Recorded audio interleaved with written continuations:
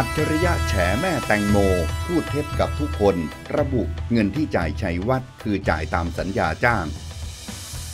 อัจฉริยะแฉแม่แตงโมคนเลี้ยงแกะปมเงินเยียวยา พร้อมเปิดคลิปเสียงโต้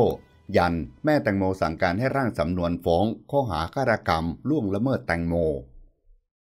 วันที่ 9 มกราคม 2567 อมรินทีวี รายงานว่า นายอัจฉริยะเรืองรัตนพงศ์ประธานชมรมช่วยเหลือเหยื่ออาชญากรรม งัดหลักฐานให้สัมภาษณ์ต่อสื่อมวลชน ตอบโต้กรณีที่นางพนิดาศิรยุทธโยธิน แม่ของนางสาวพนิดาพัทรวิยรพงศ์หรือแตงโม นางเอกชื่อดัง แจ้งความว่า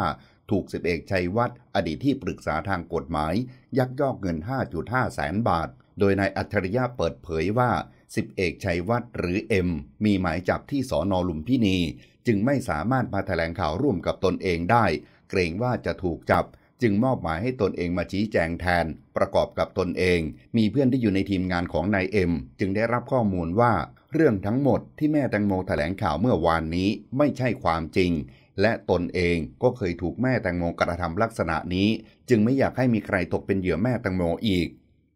โดยนายอัจฉริยะชี้แจงว่าเงินก้อนแรก 4 0 0แสนบาท แม่แตงโมทำสัญญาว่าจ้างนายเอ็ม โดยนายเอ็มเป็นที่ปรึกษากฎหมาย จัดหาทนายมาให้ มีการแต่งตั้งทนายสองคนเรียบร้อย โดยมีข้อตกลงว่าต้องจ่ายเงินให้กับนายเอ็ม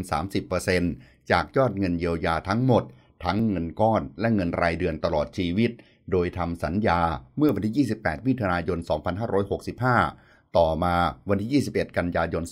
2565 ปอและโรเบิร์ตจ่ายแคชเชียร์เช็ค 2 ใบ ใบละ8แสนและเงินสด4แสนบาท ซึ่งตามสัญญา แม่แตงโมต้องจ่ายให้กับนายเอ็ม6แสนบาท ดังนั้น แม่จึงให้นายเอ็มเอาเงินสดไปก่อน4แสนบาท และค้างจ่ายอยู่2แสนบาท โดยยังไม่รวมส่วนแบ่งรายเดือน จนถึงวันนี้ผ่านมา 12 เดือน แม่ยังค้างนายเอ็มอยู่3แสนกว่าบาท หากแม่ฉีกสัญญา โดยนายเอ็มไม่ได้ทำอะไรผิดในสัญญา แม่แตงโมต้องจ่ายค่าปรับสองเท่าของเงินเยียวยาทั้งหมด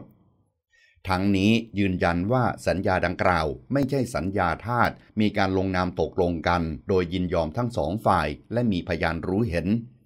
ส่วนเงินก้อนที่สองอีก4 0 0แสนบาทนายเอ็มอ้างกับตนว่าโรเบิร์ตโอนให้กับนายเอ็ม4 0 0แสนบาท เมื่อวันที่ 14 มิถุนายน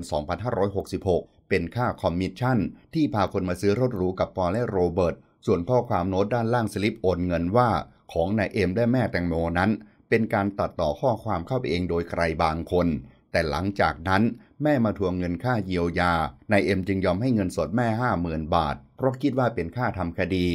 นอกจากนี้แม่แตงโมยังเคยให้สัมภาษณ์สื่อว่าเงินจำนวนนี้เป็นเงินค่าปิดปาก ไม่ให้อุทธรณ์คดีปอและโรเบิร์ตแต่เมื่อวานกลับมาบอกว่าเป็นเงินโบนัส ซึ่งเรื่องนี้จะเป็นเงินอะไรกันแน่ ต้องไปถามโรเบิร์ตเอง ซึ่งตนเองก็ไม่เคยโทรไปสอบถาม เพราะไม่มีเบอร์ติดต่อคนทั้งคู่ ส่วนเรื่องร่างฟ้องที่มีข้อหาฆาตกรรมและล่วงละเมิด นายอัจฉริยะมีหลักฐานเป็นหนังสือลายมือแม่แตงโม ที่เขียนตรวจแก้ไขคำฟ้อง แสดงให้เห็นว่าแม่ได้อ่านคำฟ้องอย่างละเอียด พร้อมกับเปิดคลิปเสียงที่แม่ให้ร่างคำฟ้อง ข้อหาฆาตกรรมกับล่วงละเมิด กับจำเลยที่เหลือ4คนบนเรือ ยกเว้นปอกับโรเบิร์ตซึ่งบันทึกไว้เมื่อวันที่ 29 กรกฎาคม 2566 ซึ่งเกิดก่อนที่จะมีการตรวจร่างคำฟ้อง นายอัจฉริยะยังฝากถึงแม่แตงโมว่า อยากให้มีความเป็นแม่บ้าง พิสูจน์ความจริงเรื่องลูก ไม่ใช่เอาเงินเป็นตัวตั้ง เอาแต่เงิน ไม่สนใจว่าลูกเสียอย่างไร ซึ่งตนยังยืนยันว่าไม่ใช่การกระทำโดยประมาททั้งนี้สำหรับหมายจับของนายเอ็มที่สอนอลุมพินีเป็นเรื่องส่วนตัวของนายเอ็ม เรื่องปลอมและใช้เอกสารปลอม ในการไปเบิกเงินแทนคนอื่น ไม่เกี่ยวข้องกับคดีแตงโม และทราบว่านายเอ็มจะไปมอบตัวภายในสัปดาห์นี้ แม่แตงโม คืนดีทนายเดชา สวมกอดแซน เผย ถูกอดีตที่ปรึกษากฎหมาย ยักยอกเงินครึ่งล้าน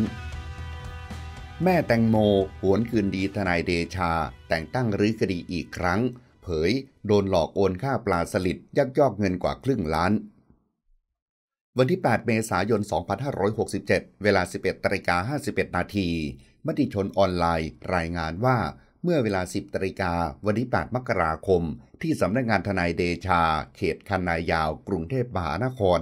นายเดชากิติวิทยานันท์พร้อมนางพนิดาเสรยุทธโยธิน หรือแม่แตงโมนิดา และทนายพรศักดิ์วิพาทอาภานนท์ทนายความของแซนวิสาพัฒน์มโนมัยรัฐแถลงข่าว กรณีนางพนิดา ถูกทีมทนายยักยอกเงินหนึ่งล้านบาท และรอบยื่นฟ้อง นายตนงพัฒน์เลิศทวีวิทย์หรือปอ และนายภัยบูลตรีการจนานันหรือโรเบิร์ตว่าล่วงเกินแตงโม